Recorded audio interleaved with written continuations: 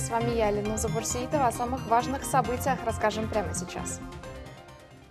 Вице-премьер Крыма Евгений Кабанов решил не участвовать в предстоящих выборах в Госдуму Российской Федерации и отозвал документы. Он останется на своей должности в правительстве республики и продолжит курировать реализацию ФЦП. Об этом заместитель председателя Совета министров Крыма Евгений Кабанов сообщил на своих страницах в соцсетях и подтвердил по телефону.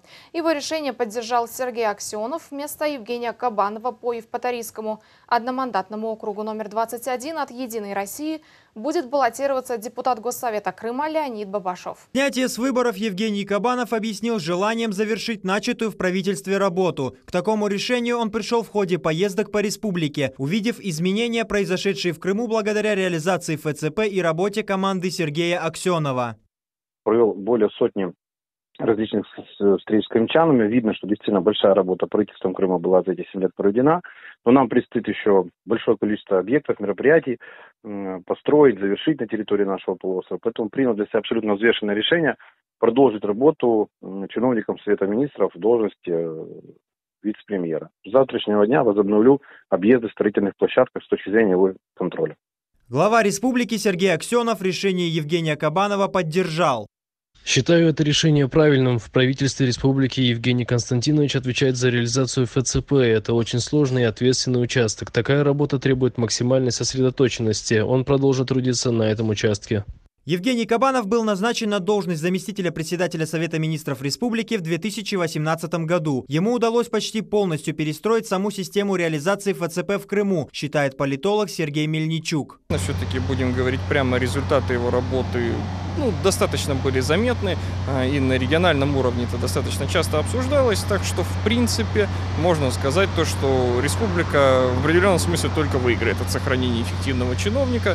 Член Общественной палаты Крыма Денис Батурин в свою очередь отметил, что при вице-премьере Евгении Кабанове республике удалось прийти почти к стопроцентному освоению средств ФЦП. Немножко странно выглядело то, что вице-премьер, курирующий э, ФЦП, э, идет на выборы, причем курирующий достаточно успешно. Ну а то, что Марат Хуснулин заявил о том, что главным приоритетом крымской власти является реализация федеральной целевой программы, еще раз подтвердило эту ситуацию. Поэтому Евгений Кабанов, я думаю, не самостоятельно это решение принял. Я думаю, он принял это в консультациях с руководством Крыма и с главой э, Госсовета, и с главой республики. Вместо Кабанова по Евпаторийскому одномандатному округу номер 21 будет баллотироваться председатель Комитета Госсовета Крыма по строительству, транспорту и топливно-энергетическому комплексу Леонид Бабашов. Его выдвижение поддержал региональный политсовет Крымского отделения «Единой России». Ленуза Бурситова, Дауд Чахалов, Саид Влиляев, телеканал «Миллет». Борщевой набор скоро подешевеет. Урожай в этом году обещает быть щедрым, а значит повышение цен носят сезонный характер. Картофель, морковь, свекла. Пока цены на самые популярные овощи выросли в 2-3 раза. Подробности у Тараса Брезицкого. Джинковская крымская картошка очень вкусная, разварится жарко, варка, э, запекание, вкусная картошка. Такие характеристики требуют твердого рубля. Правда, дело вовсе не во вкусовых качествах. Цену формирует несколько китов. Сезонность, богатство выбора, а теперь и новый хит – тропические ливни. Дожди, вот это вот ливневые грозы, вот это ливневые дожди произошли. Вот. И за счет этого вот продукция вот так вот выросла. А сколько он стоил, этот лук, до дождей? До дождей он стоил 10-12 рублей. Вот. За счет вот этих дождей ливневых вот продукт чуть-чуть поднялся в цене, там на 2-3 рубля. Цена на картофель варьируется в диапазоне от 20 до полусотни рублей на рынках, но это даже дешевле, чем в прошлом году. Сейчас одного из главных ингредиентов борща на прилавках много, следовательно, платить меньше.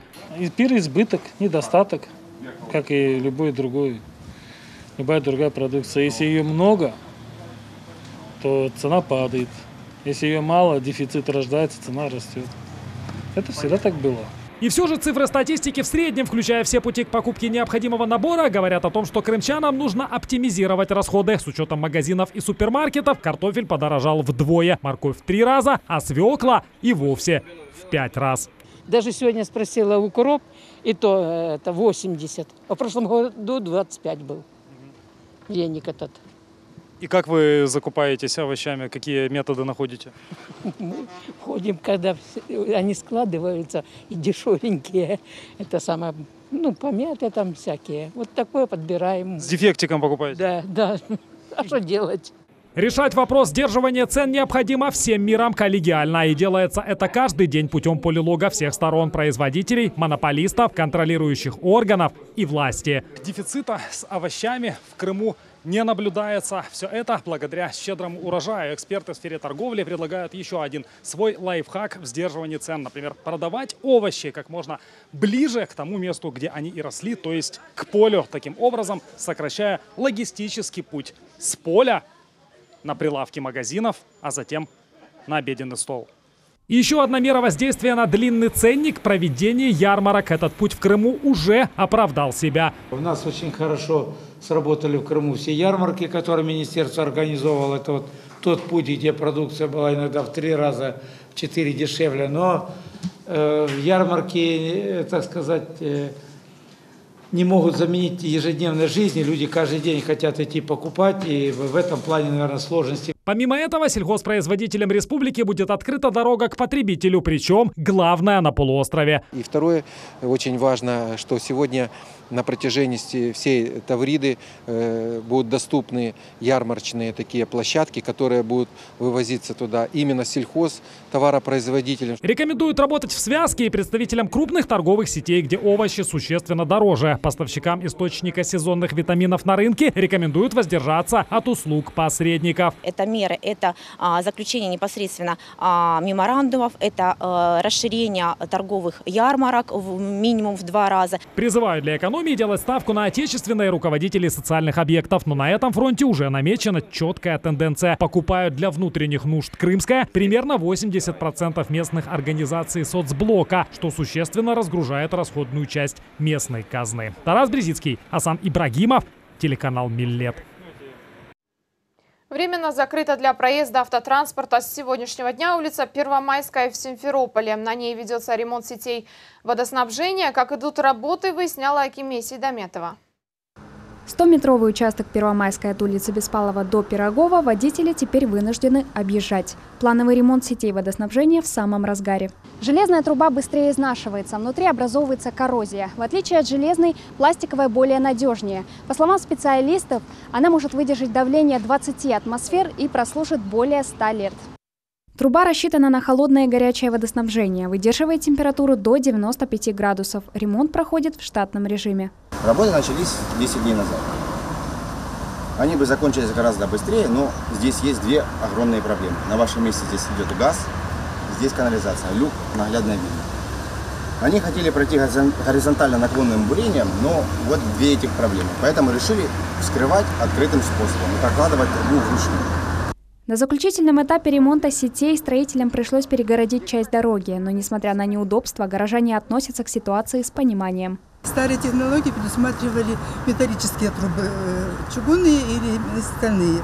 Они со временем изнашиваются, ржавели. Это зачастую так. Сейчас пластиковые, которые долговечные, уже наверняка больше дорогу ломать не будут. Довести благо цивилизации до каждого дома – основная задача городских властей. На время работы администрации были предусмотрены мероприятия для безопасности граждан. В соответствии с разработанной схемой организации дорожного движения на период производства работ обеспечить расстановку э, технических средств организации дорожного движения для информирования участников движения э, с целью недопущения возникновения там аварийно опасных ситуаций и травмирования горожан и гостей столицы. Обновленные водопроводные сети запустят в начале следующего месяца. Проезд по улице Первомайской будет закрыт до 8 августа. В это время водителям придется заранее выбирать пути объезда. Акимия Седометова, Максим Голубев, телеканал Милет. Четыре двора и два парка. Благоустройство в Бахчисарае продолжается. Стоимость работ более 80 миллионов рублей. Уже к 1 августа подрядчик обещает полностью сдать все объекты. Успеет ли в срок? Сабина Дениева расскажет больше. Строители укладывают резиновое покрытие спортивной площадки. Последний этап благоустройства двора на улице Советская в Бахчисарае. Младшее поколение семьи Юхнович уже испытало на прочность новый игровой комплекс, находящийся по соседству. Строительным метаморфозом, которых здесь не было лет 40, рады все. Очень хорошо, что у нас в Бахчисарае делают для людей такой прекрасные скверики. Очень нравится, что они очень мягкие. И для деток, что очень хорошо, можно прийти вечерком и покататься. Очень хорошо. Спасибо что у нас все-таки заботятся о нас. Идеальное дорожное покрытие, детская площадка, скамейки – все, что нужно жителям. Двор на улице Мира в Бахчисарае благоустроили за два месяца, а ждали этого события более 30 лет. В благоустройстве участвовали и сами жители. Они предлагали свои идеи, а подрядчик их воплощал в реальность. Здесь появились зоны отдыха для разных возрастов, парковка на 145 мест и многое другое. У нас большая площадка. Мария Юртаева хорошо помнит былые времена. Приводить двор в порядок приходилось своими силами. На этот раз участвовала в благоустройстве на всех этапах, начиная от создания проекта. С особым удовольствием жильцы принимали готовую работу у подрядчика. Мы на сегодняшний день, наверное, самые счастливые люди. У нас во дворе 60 детей. Вы представляете, вечером после работы, какой здесь гам, шум, какая красота, когда маленькие трехлетки – и пятилетки бегают вокруг, ходят, катаются. Кроме дворов, в Бахчисарае благоустроили и парки. Раньше здесь было просто пустырь. Э, здесь люди ходили именно по протоптанным тропинкам, они сами их протаптывали. Были несколько сухих деревьев, как видите, сейчас сухих деревьев нету. В парках уложили плитку, установили скамейки, урны и освещение. Сделано две общественные территории. Одна в рамках московских денег, одна в рамках федеральных денег. Но э, две эти территории они все сливаются в одну длинную, скажем так, в один длинный променад, назовем это. От переулка у нас музыкального до улицы Мира более полутора километров общей протяженности дороги. Всего в этом году благоустраивают 4 двора и 2 парка. Общая стоимость работ более 80 миллионов рублей. Сдадут все объекты 1 августа. Сабина Дениева, Аким Бекиров, телеканал Милет, Бахчисарай. Новый пляж и набережную открыли в Ялте в самый разгар курортного сезона. Напомню, в 2021 году, как и в прошлом, разрешено работать только тем объектам размещения, которые взяли на себя обязательства по соблюдению санитарно-эпидемиологических требований Роспотребнадзора. Итоги проверки Минкурорта в сюжете Лилии Ислямовой. Новая галечка, свежая, чистое море и чистая галька. Очень хорошо все. На юге Крыма открывают новую набережную и пляж. Здесь соблюдены все правила санитарной безопасности. Южный берег – это развитая инфраструктура. Города и села, утопающие в зелени и, конечно, горы. Они защищают пляж от ветра. Идеальное место для семейного отдыха. Отсюда открывается прекрасный вид на бескрайнее море, а город как на ладони. Елена Цируль вместе с семьей в Ялту приезжает каждый год. Да, вот новая набережная нам очень нравится, потому что здесь вот э, такая и кухня разнообразная. У нас трое деток э, разного возраста, поэтому мы тут для себя находим разные активности. А, а еще можно здесь побегать, здесь очень хорошее пространство. Протяженность пляжа и набережной чуть больше 100 метров. Шезлонги, зонты, сети быстрого питания. А главное – удобный спуск к чистому морю. Все для комфортного отдыха. Что грязная вода, все это врут. Вода абсолютно чистая, проверено, дети купаются, приезжайте в Ялту. Очень хорошо все. Министерство курортов и туризма республики ежедневно проверяет крымские отели, пансионаты и санатории. Цель – соблюдение требований Роспотребнадзора и мер безопасности отдыха в объектах размещения и на пляжах. Дистанцию в шезлонгах в зоне спа-центра, бассейна открытого мы тоже расставляем, соблюдаем, по максимуму стараемся. Э, в зоне ресторана тоже делаем рассадку через стол, чтобы люди меньше между собой контактировали. Ну и дезинфекторы у нас тоже как бы находятся. Рециркуляторы в каждом зале, разметки для безопасной дистанции, масочный режим в помещениях. Сюда гостей не сажаем, соответственно, посадка идет здесь, здесь, здесь, на расстоянии полутора метров. В одном из отелей курортного поселка «Восход» также проходит министерская проверка. Здесь в Ялте мы видим новые реконструированные пляжи. А, их не хватает в Ялтинском регионе, поэтому новые пляжные пространства позволяют а, достигать больше дистанции между отдыхающими отдыхающими, что вы понимаете, очень важно сейчас с точки зрения эпидситуации. Мы понимаем то, что на первое место выходит безусловно безопасность. Безопасность тех, кто приехал к нам на отдых, и безопасность жителей Крыма. В этом году в Крыму к курортному сезону было обновлено и реконструировано более 80 отелей, гостиниц и санаториев. Открываются новые пляжи и туристические маршруты. Более 13 тысяч сотрудников санитарно-курортной сферы по всему полуострову вакцинировались. Лилия Ислямова, Артур Чалый, телеканал «Милет», Ялта. Коронавирус не отступает, статистика заболевших не уменьшается. Ковидные госпитали работают на полную мощность. Как с наплывом пациентов справляются врачи в красной зоне в Феодосии побывала Сабина Дениева.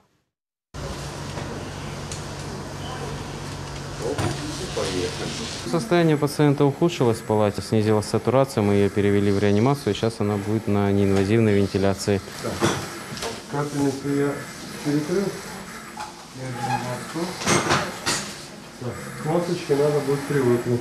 Это ковидный госпиталь Феодосии. Два года назад здесь было инфекционное отделение. Ежедневно сюда поступает около 10 больных. Врачи на связи круглосуточно. Не бывает такого, что э, зона остается без медработника. В отделении у нас работает э, 5 врачей, инфекционистов э, ежедневно, э, плюс еще врачи-дежуранты, которые ведут прием больных от, э, по два врача. То есть они чередуются, постоянно находятся в зоне. В госпиталь доставляют пациентов по направлению и по скорой помощи. Больные с ковидом разной степени тяжести поступают сюда не только из Феодосии, со всего Крыма. Объем работы ну, на врача где-то порядка 30 с лишним больных. Э, Сюда же в, этот, э, в это количество входят также пациенты, которые находятся в реанимации. Невидимый, коварный и непредсказуемый общий враг – коронавирус. Порой пациент не может даже пошевелиться без помощи врача. У этого больного 95% поражения легких. Еще день назад показатели были в норме. А сейчас врачам приходится идти на крайние меры. Скажите, а что вы сейчас делаете? Врач не отвечает. Пациенты, э, в принципе, понимают, что такое интубация и перевод на искусственную вентиляцию, и ну, они сильно расстраиваются. Что это значит? Э, Это значит, что пе- перевод больного на инвазивную вентиляцию легких, э, ставится трубка в трахею, и уже вентиляция идет принудительная. Отделение рассчитано на 130 коек. Сейчас здесь более 120 пациентов. Волны здесь, кажется, уже не считают. Все просто работают. Пациентов по-прежнему много. И кажется, что врачи уже привыкли. Однако, несмотря даже на неудобства защитного костюма, им удобно скрыть свои эмоции. Состояние Екатерины Новиковой врачей радует. Она находится в отделении неделю и уже идет на поправку. Когда я поняла, что я ничего не могу уже сама сделать, потому что была очень сильная боль в горле, уши кололи.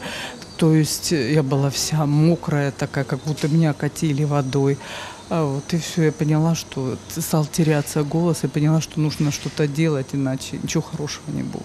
Вирус не только заразнее гриппа, но еще и коварнее, хитрее. Ковидная пневмония прогрессирует очень быстро. К примеру, 10% показатель поражения легких, зафиксированный на КТ, через 5 дней может увеличиться до 90%. Если у пациента 80% поражения легких, как э, это оборудование помогает ему? Это оборудование позволяет проводить вентиляцию легких на 100% кислороде, подавать достаточный объем э, и давление. Здесь молодые и пожилые, одинокие и семейные, люди, у которых были планы и мечты. В ковидный госпиталь попадать никто не планировал. Цель одна – остаться в живых. Врачи еще раз напоминают, не стоит забывать про соблюдение санитарных норм безопасности и шутить со здоровьем. А сбить угрожающую статистику поможет вакцинация. Сабина Дениева, Артур Чалы, телеканал «Милет», Феодосия. Проведение операции сразу в двух зонах организма одновременно теперь стало возможным в Крыму. Клинический медицинский многопрофильный центр святителя Луки получил уникальный лазерный аппарат. Такой же есть только в трех медицинских учреждениях Москвы. Дауд Чахалов побывал в операционной и увидел новые технические возможности аппарата.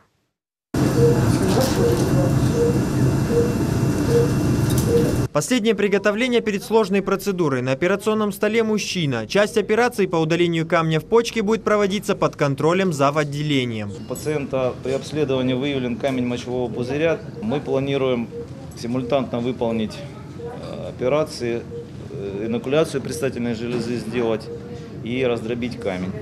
Прибор, с помощью которого происходит дробление камня, уникален для Крыма. Лазерных аппаратов на базе клиники 2, что позволяет комбинировать оборудование и проводить операции в разных частях организма одновременно, без потери времени. Операция без боли, шрамов и осложнений. Вот этот тулеевый лазер позволяет измельчить камни любого размера и плотности до состояния песка и сохранить здоровые ткани. Такое устройство есть в четырех медицинских организациях. Остальные три в Москве. Если раньше крымчанам нужно было ездить на операцию на материк, а это дополнительные расходы и трата времени, то теперь все намного проще. Вот это вот э, прибор, тулевый лазер третьего поколения, он производится только в России, позволяет выполнять э, многие урологические, эндоурологические операции на современном уровне.